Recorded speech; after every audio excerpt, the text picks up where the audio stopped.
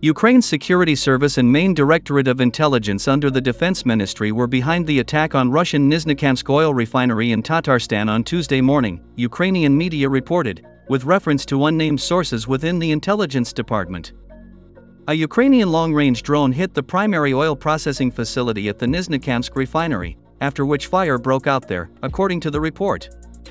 The capacity of this processing unit is 8 million tons of oil, which amounts to 2.6% of the total annual refining of the Russian Federation per year.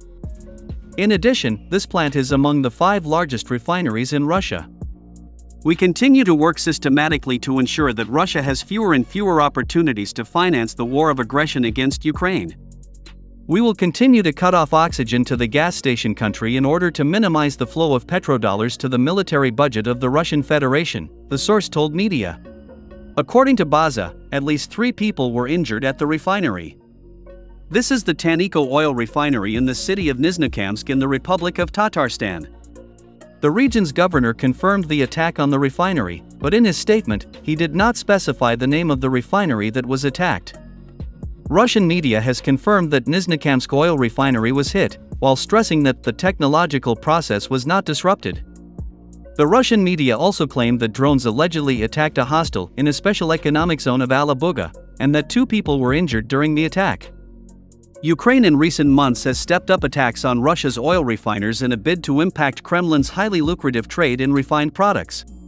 Kiev believes its drone attacks on Russia, the world's second largest oil producer, are justified because Ukraine has suffered large scale damage to its infrastructure from Russian airstrikes since the start of Russia's full fledged invasion of the country in February 2022.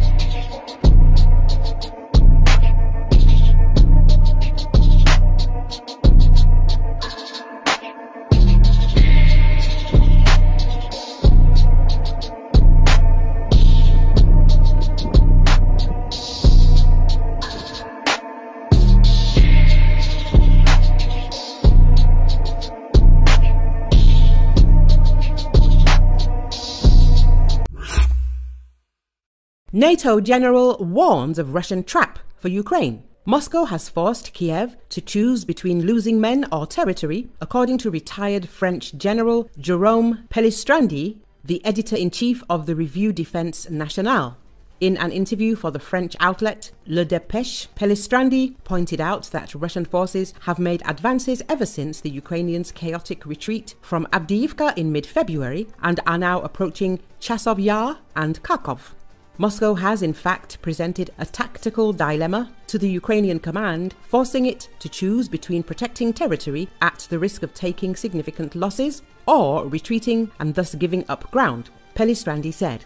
In addition to advances west of Avdiivka, Russian troops recently took the town of Ivanivske west of Bakhmut, the general noted. This reflects this desire to exhaust the enemy, he said. Moscow knows very well that Kiev lacks artillery shells, and by relentlessly shelling these territories, President Vladimir Putin is ultimately preventing the Ukrainians from rebuilding their defenses.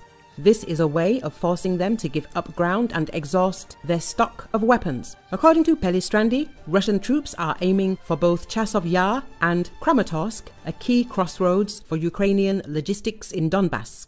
Its loss would be dramatic for Kiev and pose serious strategic and logistical difficulties, he said. Kharkov also came under heavy bombardment last week, Pellistrandi said, adding that Ukraine is on the defensive along the entire front and urgently needs more ammunition. Revue Defense Nationale is considered France's preeminent military publication. Founded in 1939, it is traditionally led by a general officer. Pellistrandi has been editor in chief since 2014. In 2022, he also joined the French outlet BFM TV as a military expert.